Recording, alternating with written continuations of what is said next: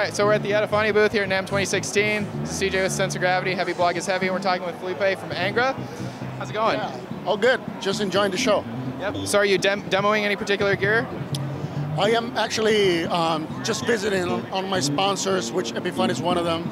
So just checking out the new gear, just touching base with all the good brands at, at the companies, you know.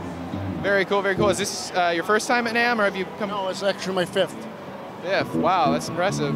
Um, right on. So what's happening with the band recently?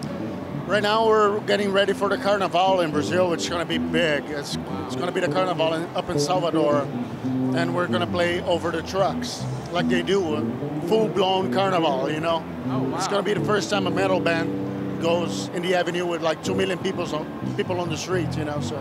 Are you guys going to film it or do a DVD or something? Oh yeah, it's going to be on the TV all over. Yeah. Oh wow, that's that's awesome.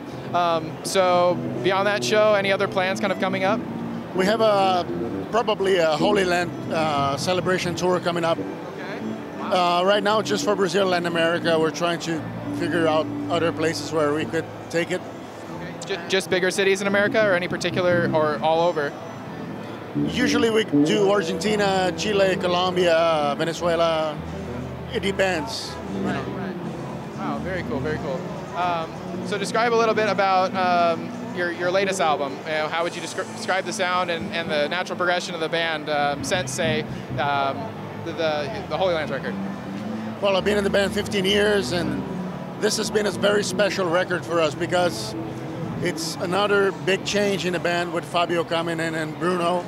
You know, two different people, two new guys, but at the same time, they're not new at all because Fabio, we've known him for, since forever for his work in Rhapsody and other bands.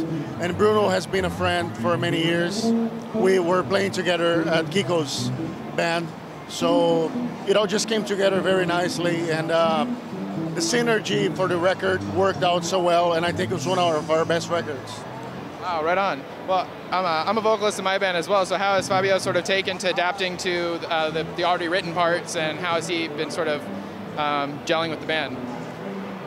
Apart from being just a great guy, a very relaxed guy, he's a very competent and very talented vocalist. So he handles the duties very well. He has a very uh, big range, powerful voice. For some really high stuff from Andre's time is, hard to do, but he manages with his own way. And he's just very consistent. Every show, he sings great, great voice, great character on stage, you know. Very, very cool. Um, so next steps for you, like what would be the, what do you want to pursue as far as your playing goes? Is there any techniques or anything that you're really wanting to explore more?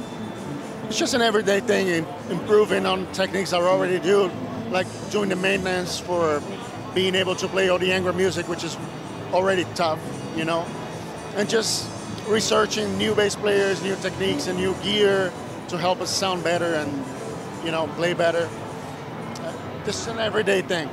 Constantly improving. That's awesome. Well, hey, appreciate the, the interview and taking the time and enjoy the rest of the show. Thank you. You too. Thanks.